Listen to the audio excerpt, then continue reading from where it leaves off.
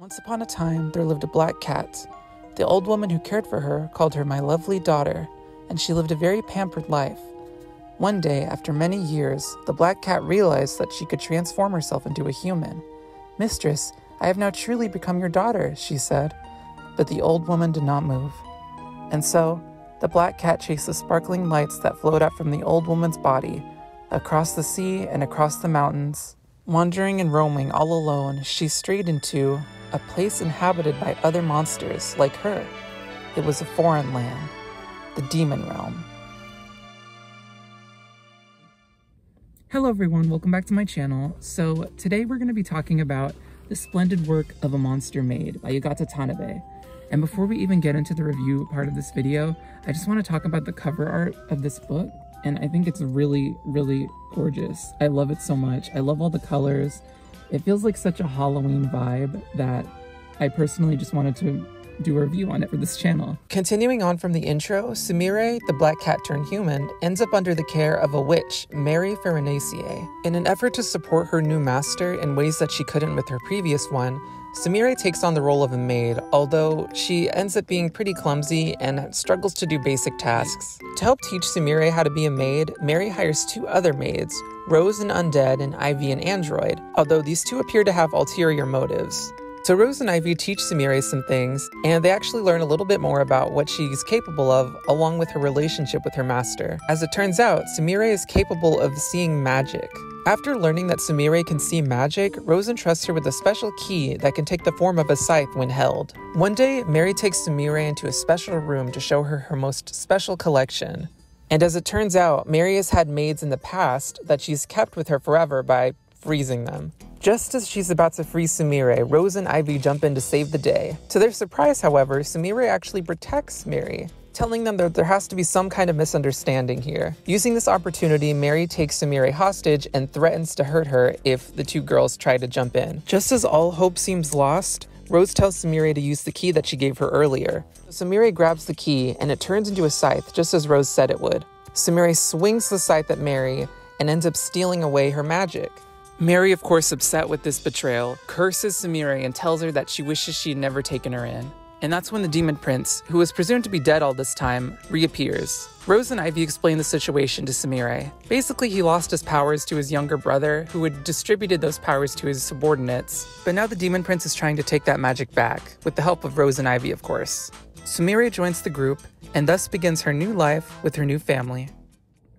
But yeah, that's pretty much the plot of the splendid work of a monster maid. I definitely recommend this manga. Honestly, it actually turned out a lot better than I was expecting. I wasn't really sure what to expect at first. I think initially I assumed it was going to be more of an isekai type of story since since Sumire technically is from a different land other than the demon realm. I thought there was going to be more about her not really fitting in and being a fish out of water, but that's not really the case. She kind of fits right in since she's a Nekomata. Now, the plot of the story, I don't think it's anything super original or something you probably haven't seen before, but it's still good for what it is, I'd say. Now, plot-wise, we obviously don't know a whole lot of details about the story surrounding the Demon Prince, Rose, and Ivy and their relationship and their relationship with the current Demon King.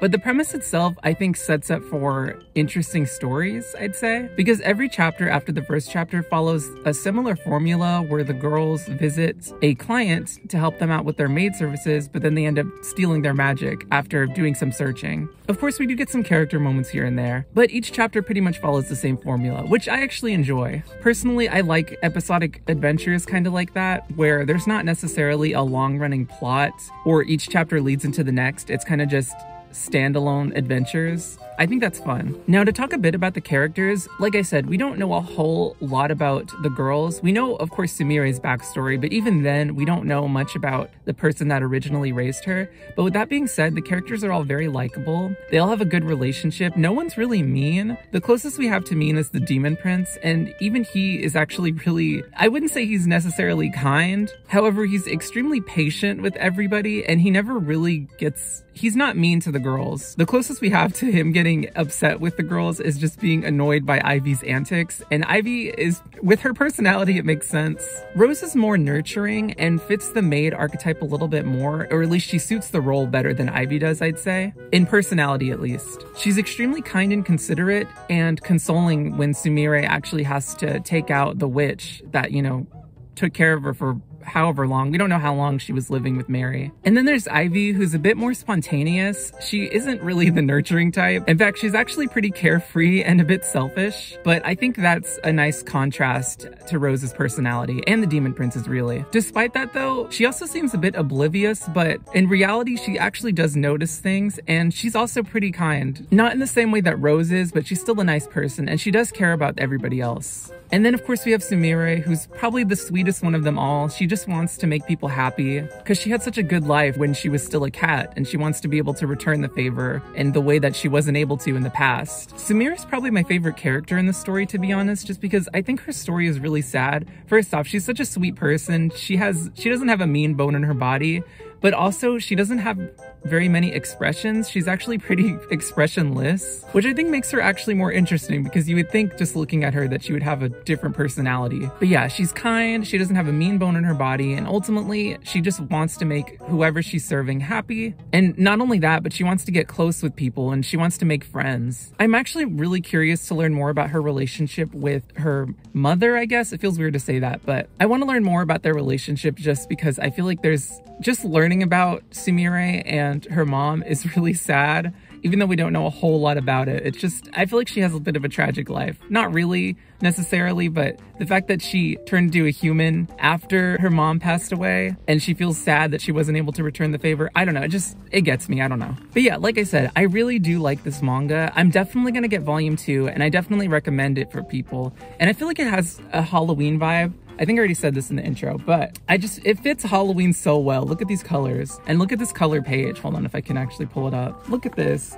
It's beautiful. But like I said, we don't know a whole lot about the plot of this story, and there isn't too many emotional moments if that's what you're looking for but it's an entertaining read and i think it does have some pretty some strong emotional moments at least for me especially with sumire honestly. Well pretty much just with her. But i'm sure as the story goes on we're going to learn more about ivy and rose and the demon prince and their relationship because right now we really don't know why or we don't know the full extent of their relationship and just why they're serving him or how they came to serve him. Although i guess in this case it's more like they're working for him because they refer to him as boss. I'm not really sure like i said i don't know their relationship relationship really. So I'm definitely excited to read more because I want to learn more about this world and these characters. I just really enjoyed this story. Also, I will say that even though I said this has kind of a Halloween vibe to it, it feels more spooky cute than like actually scary. So if you want something scary, this is definitely not it. Oh, and you know what? I don't know if I should even mention this at all because it's one of those things that I don't really think about too much. But this story doesn't really have any fan service at all. I feel like a lot of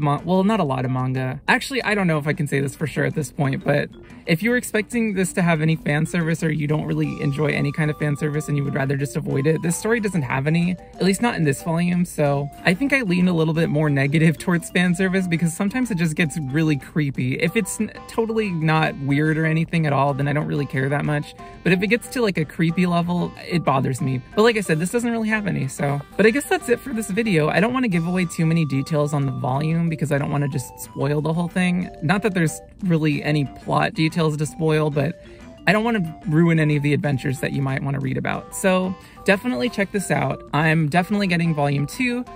And that's, I guess that's it for this review. Thank you guys for watching.